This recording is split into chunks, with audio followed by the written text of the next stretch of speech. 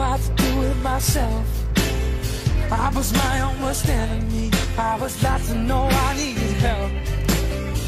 Then you came along and saw the state I was in. You picked me up when I was down, showed me